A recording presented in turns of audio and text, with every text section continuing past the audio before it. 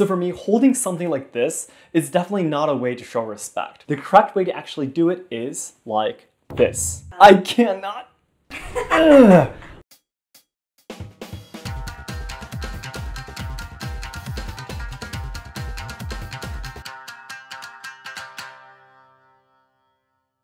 Minasan everyone and welcome to Let's Ask Shogo. So recently guys, I've actually made a YouTube shorts talking about the taboo you should never do at katana sword shops. It was a video about how to properly hand a katana to someone, but the responses I got from the viewers was really surprising for me. Let's take a look at the comments together. What if the katana just falls onto your head though? Might I ask why? Is it something like that this is just how those in the Japanese culture hands back katanas? If anything, that looked even more dangerous to the one who gave the katana though. That seems way too dangerous. One fatal mistake and it drops on your head. Now, to be honest, I was very, very surprised to receive these comments because I've been training the katana for about full seven years, almost on my eighth year now, and this is the only way that I've been taught how to hand a katana to someone safely. So I was very surprised and also very sorry to the people watching my video. The YouTube shorts is only a minute long and it's definitely not long enough for me to explain everything and it probably made a lot of confusions. So today I'd like to answer some of the main questions I received in the comments and explain and demonstrate about why we hand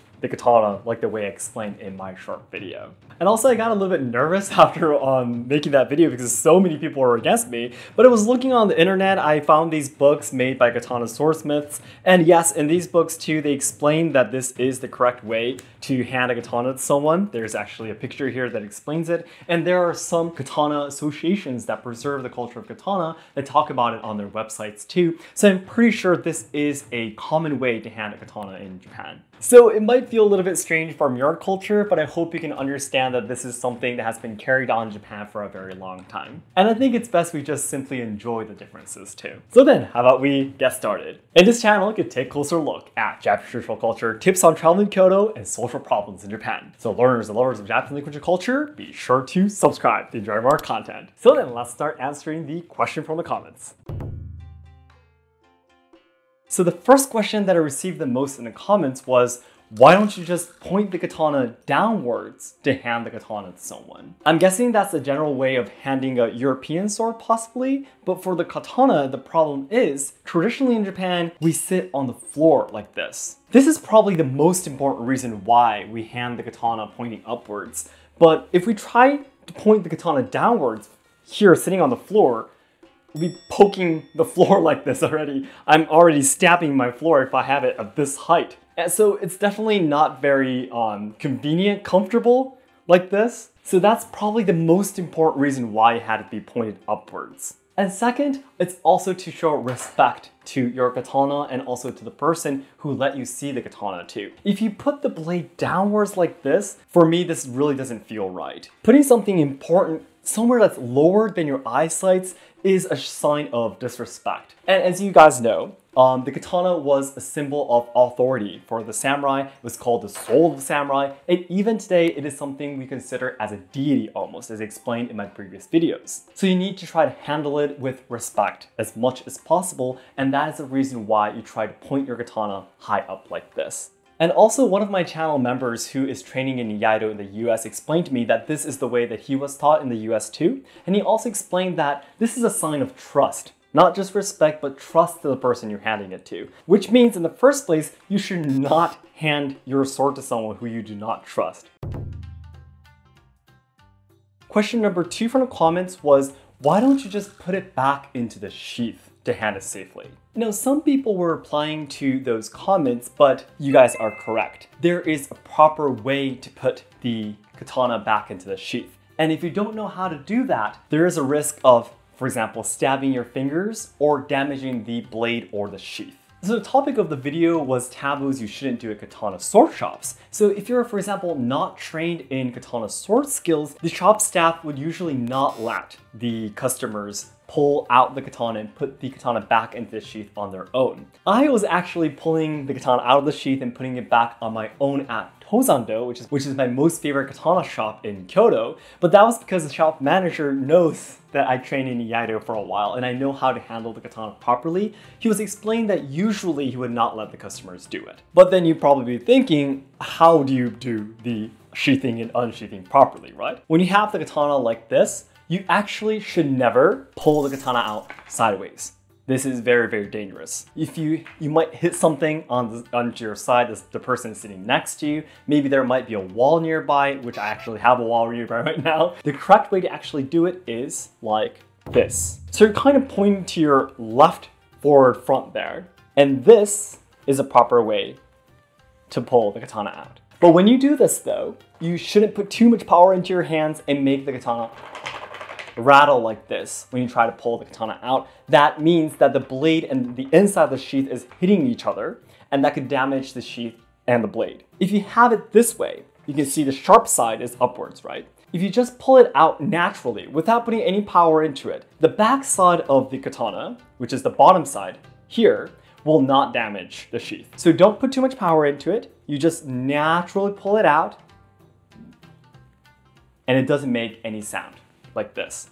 And after examining the katana, when you want to put the katana back, you do it the same way. You put the sheath in front of you like this, you put the tip in first, and then gently, without putting too much power into your hand, just put the katana back. Now again, if you put too much power from here, is not good. But again though, even if you know how to do this, I'm pretty sure at katana sword shops, you'll be handed the katana already unsheathed. Because no matter how much you say that you're experienced in, for example, Iaido or Kenjutsu and such, the shop managers or the shop staff will not be able to confirm that, right? So usually, even if you are trained, unless you're a very, very famous master of the skills or, or something, you would usually be handed the katana already out of its scabbard.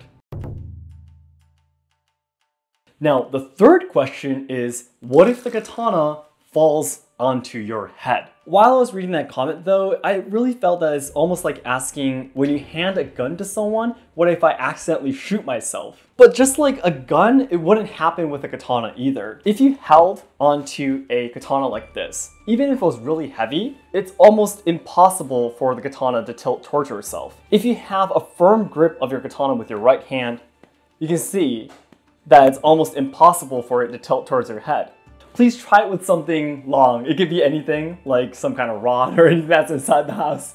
You can hold on to it in front of you and hold it like this, as I'm doing it right now. Try tapping the object towards you. You can see that if you have a firm grip, it's almost impossible for it to tilt towards your head. If I were to, for example, try to make this hit my head, I would be letting go of my hands. So you wouldn't do that when you're holding onto a real katana. You, of course, would have some kind of nervousness, right? So you wouldn't do that, especially, as I explained, you would use your both hands like this. So it would especially not happen. However, as many people did talk about, the katana could be much, much heavier. For example, if it's a very, very long katana, it might be a little bit unsafe. So in that case, there are some people who explain that you could hold it like this too to be a little bit more stable. You can hold it like this. And there are also a lot of people worried saying that what if someone pushes the katana towards you, it'll be very dangerous. Well, first of all, you shouldn't try to hand a katana to someone who you can't trust at that level. And the person that showed you the katana, if that person wanted to attack you in the first place, he or she should have done it before handing the katana to you, right? So I thought that wouldn't happen, but I do have Harumi here to help me out and demonstrate this. So then Harumi, uh, could you try to push this handle towards me? It's impossible to try to tilt it towards me, right? My arms are completely stretched out. My bones will not let the blade towards me at all, yeah. yeah. And if it got into this situation, you should react to it differently, obviously, yeah. So it would be very, very unsafe. Someone that's around you should help you out or try to, to stop the trouble, yeah. Let me have Harumi do this too. Harumi is going to be handing the katana towards me. Thank you very much for letting me see the katana shogo. And if, for example, I try to press this towards her, see? it's impossible, isn't it? See? I cannot.